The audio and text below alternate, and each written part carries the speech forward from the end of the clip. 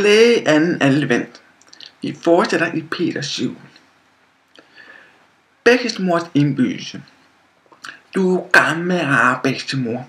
Hvor var det dejligt, at du tror, at nok du ud tør køre. Og juletræet er så stor. Jeg så det så i vores port. Nu kan du bare høre. Med risengrød begynder vi. Husk på, der er manden i. Og så skal gurken vi have. I gurken ryg. I flaske så. Og den har små maxisetter på. Og gangkranten om sin mave. Når far skærer hul på gåsen så. Han ved for mig. Jeg kigger mod til svæsken derinde. Vi skrækker gåsekrog for et bøg. Og tænk et stort klat tykkest tøj. Jeg får, hvis jeg kan vinde.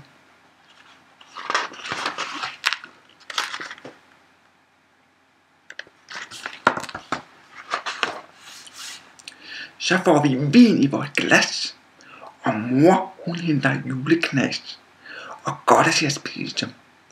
Og gåsens skål vi drikke vil, og far han tænder nok der til en morsom julevise. Og når de ti vi klinker har, sin søndagspibe henter far og Hanne, hun må shoppe. Med julelys, hun tænder den. Så leger far med os igen.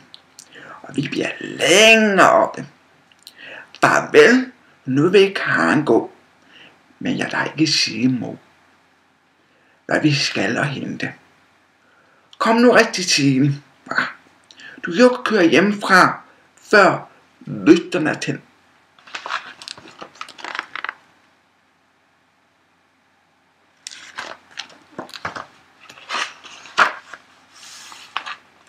i mørket juleaften. Vi sov af glæde kun lidt i nat.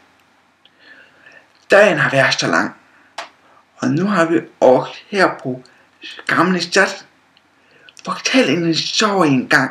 Vi ved du over 100 kan. Men far og mor gør tre sådan. Fortæl det bedstemor. Gør det. Åh. Oh.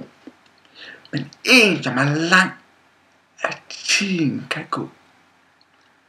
Bedstemor fortæller. Hver juleaften netop nu, når julegrøden koger, der vandrer Peter, hør du? Igennem aftentoger med store kanestøvler på. Den gamle jul til sagene fra vinduet kan man se ham gå på glæden gennem gaden. Et dejligt juletræ han bærer. Det sjokte visne i skoven. Han skægner lige se han knæ. Og på hans hat for oven et lille julely, der står. Det stråler til skinner. På næsen og det hvide hår og på hans røde kinder. Og gagen op og gagen ned, til træerne om vi bager.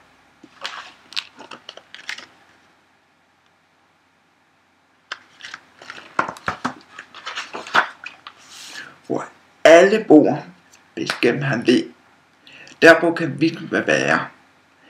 Det hurtigt døren, han selv står, om der er glemme drenge, og hører han, at far er vred, imens han træ tænder, han rokker trækken ned ad trappen ned og ud på gaden af render.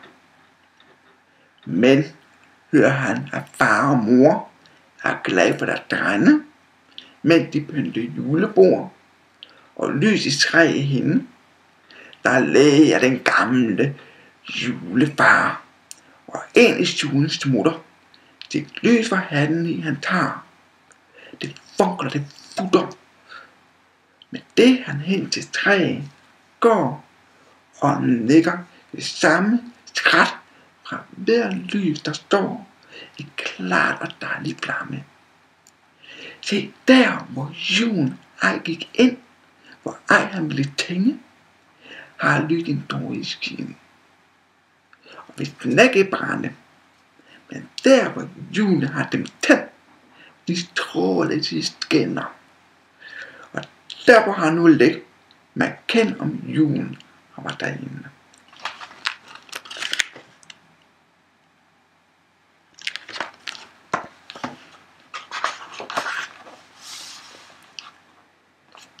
Næste del, det får jeg til tredje advent. I må have en rigtig dejlig anden advent.